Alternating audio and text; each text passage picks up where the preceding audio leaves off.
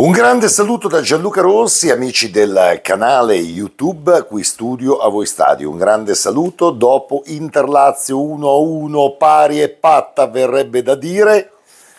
È stata un'altra grande giornata di festa a San Siro, 73.148 spettatori intervenuti non solo per vedere l'ultima casalinga, chiusa appunto in pareggio, ma anche la consegna della Coppa dello Scudetto e il successivo concerto con la star delle star Ligabue come tanti cantanti interista.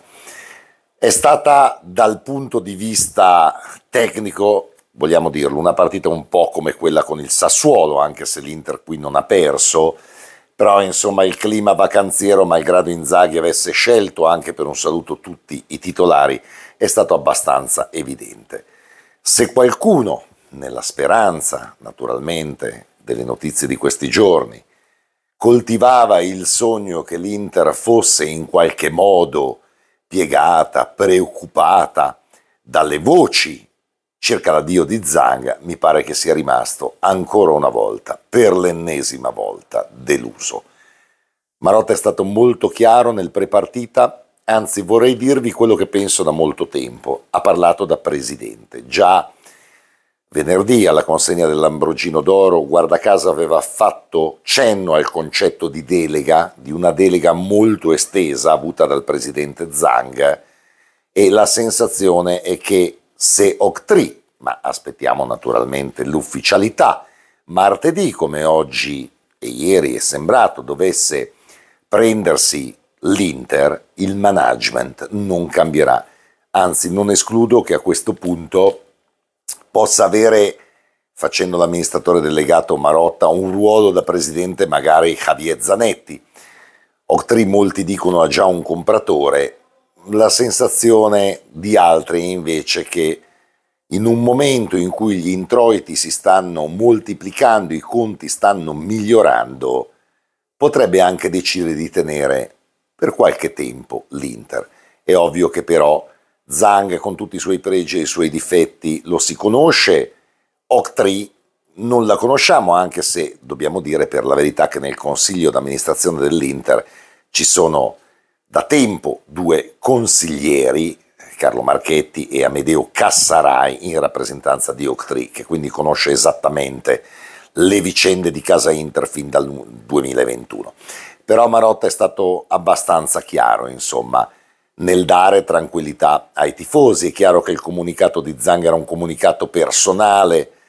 eh, lui insomma ha un'anima nerazzurra e vorrebbe continuare a gestire l'Inter, però logicamente se non riesci poi a rifinanziare come sembrava non potrai.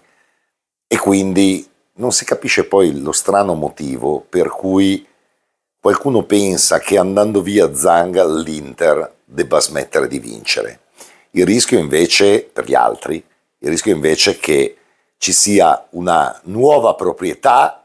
sicuramente non carica di debiti e che magari proseguendo con lo stesso management, sempre naturalmente con operazioni di mercato, ma questo è così da sempre, sul controllo dei conti si possa andare avanti. Questo il corollario di un Interlazio che ha visto comunque i tifosi festanti, alla fine è finita in un pareggio che forse non serve molto alla Lazio, l'Inter non ha più niente da chiedere a questo campionato, ha 93 punti, i distacchi ormai su Juve e Milan eh, che parlano tutti i giorni dell'Inter ma hanno le società da rifondare e questo fa anche abbastanza sorridere, sono sempre più abissali in attesa naturalmente che giochi la Juventus a Bologna, l'Inter ha guadagnato comunque un altro punto di distacco sul Milan. Sommer puntava all'ennesimo clean sheet, il, il, ventesimo dal suo punto di vista, però eh, avendo preso gol da Kamada non ha raggiunto questo traguardo, ma poco importa. Diciamo che l'Inter non era partita male nella, nella gara con la Lazio, subito nei primi minuti Provedella è stato molto bravo a chiudere una bella triangolazione di Marco Lautaro Turam, Molto bravo Provedel, ma insomma il gol Turam se l'è un po' mangiato. Poi dopo poco viene annullato un gol per evidente fuorigioco a Castellanos, ma l'Inter ci riprova ancora con Di Marco almeno due volte e ci sono due grandissime parate di Provedel, quindi il primo tempo dell'Inter, insomma delle cose le ha fatte vedere, fino al gol di Camada, lì difesa dell'Inter un po' in ritardo, un po' distratta e eh, devo dire al 36esimo Camada porta in vantaggio la Lazio. Il secondo tempo la ripresa dell'Inter non è stata per la verità all'altezza del primo tempo, per quanto insomma ci sono stati un paio di minuti con ancora una parata di Provedel al minuto 57 e un palo colpito da Lautaro. Dopo una conclusione di Vesino comunque fuori, non pericolosa, è arrivato il gol di Dumfries. Dumfries che è subentrato, come sempre, girandola di cambi, punizione di, di Sanchez e gol di testa di Dumfries. Sanchez ci ha anche provato nel finale di partita, ma la sua conclusione è terminata fuori. 1-1, quindi ma i tifosi dell'Inter erano, devo dire, già mentalmente ubriachi di gioia e francamente non c'è stata questa grande preoccupazione che più dall'esterno cercano insomma di trasmettere ai tifosi dell'Inter. Ormai i più intelligenti hanno capito che il segreto dell'Inter vincente dei sette trofei in quattro anni, sotto la gestione Zang, il segreto dell'Inter io dico Marotta, ma naturalmente mi riferisco all'intero management, cioè Marotta, Ausilio, Baccin, sono riusciti sempre a tenere altissima dal punto di vista sportivo questa società. Marotta ha addirittura sfidato chiunque a controllare i conti dell'Inter, perché qui il grande equivoco è di pensare che i problemi finanziari che ha Zang siano anche problemi dell'Inter. Il rischio adesso per gli altri ovviamente aspettando sempre la deadline, che teoricamente è quella di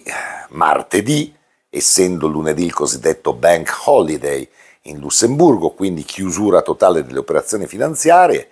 Insomma, il rischio è che Octree o ha già un compratore per aver accelerato così i tempi, ma io, perdonatemi, finché non vedo situazioni arabe di cui parliamo da tre anni, non ci credo, oppure che abbia perfettamente capito che se Zang avesse trovato l'accordo con Pinco si sarebbe poi venduto l'Inter per conto suo senza riconoscere una percentuale del 20% che in ogni caso, essendo ancora Octree presente in società più che mai presente, dovrà essere riconosciuta. Per qualcuno Zang potrebbe anche non uscire dall'Inter, nel senso che comunque toccherà ad un perito nominato appositamente al, al passaggio diciamo, di proprietà capire qual è il valore di mercato dell'Inter e come capite bene il valore di mercato dell'Inter è certamente superiore a un miliardo. Quindi al di là dei 380 milioni che Octree naturalmente si tiene prendendosi l'Inter, lo so, c'è anche questa bizzarra cosa che dopo aver prestato i soldi Octree debba dare altri soldi a Zang ma perché lui se ne vada, perché lui venga liquidato. Però a me quello che fa più piacere, al di là insomma delle legittime preoccupazioni, perché il mondo è cambiato, perché oggi con i fondi, le proprietà straniere non è un discorso che riguarda solo l'Inter, è legittimo magari essere preoccupati per chi è cresciuto con ben altro tipo di proprietà, devo dire che la notizia più bella della giornata, al di là della grande festa, è che l'entusiasmo del pubblico interista, se qualcuno parlava di festa rovinata, di festa a metà, ancora una volta ha perso anche questa partita, l'ennesima partita. Un saluto da Gianluca Rossi, amici del canale Qui Studio a voi Stadio. Naturalmente il mio invito è sempre il solito, iscrivetevi al canale. Ciao a tutti.